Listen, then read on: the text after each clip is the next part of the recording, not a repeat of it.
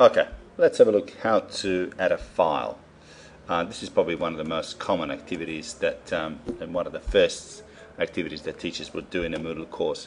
Once again, we turn the magic editing button on. We assuming we are we have the editing rights in this particular course, and we're going to add a resource and link to a file. We will do the website in another screencast, but let's just focus on the linking, adding a file. So, link a link to a file name let's say it's a questioning skills example and we provide a brief description here.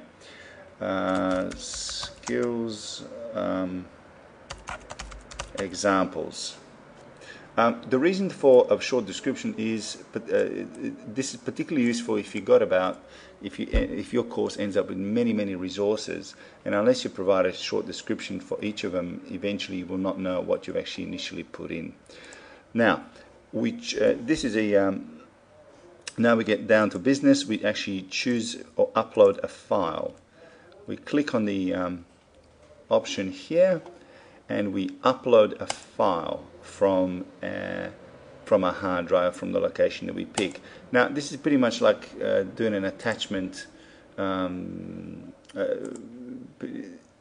a bit like an email attachment This is how it works. So let's say I want to pick up a question and skills file from here and I choose to upload it and the system uploads it. Now once we've once we, we've got the message that the file was uploaded successfully um, we need to we can also rename it. In this case we're not going to rename it. We are happy with the name but if you want to we can click on this and rename it. Um, now we're going to choose it in order to display it. Now you can see that the name of the file has appeared here. Okay. Now we need to specify whether it's going to open in the same window or in a new window I would warmly recommend as a matter of course uh, for any new documents, for anything that you do to, for it to open a new window. The reason for that is when a student is finished working with a, if, if, a, if a document opens in the same window, i.e. no new browser opens, when they're finished with it, they will simply click on the red cross and they will actually shut down not only that document, but the entire uh, uh, Moodle site and entire uh, Moodle login as well. So um, I would, as I said, I would warmly recommend that um, you get in the habit of opening new resources, uh, any resources that you add in a new window. Um, I wouldn't go into great depth uh, into these other parameters, but let's just save changes and return the course now.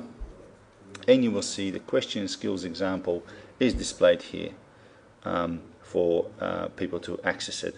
So for example, all they have to do is click on it, and you will probably give them any option whether they just want to open it or whether they want to save it to disk.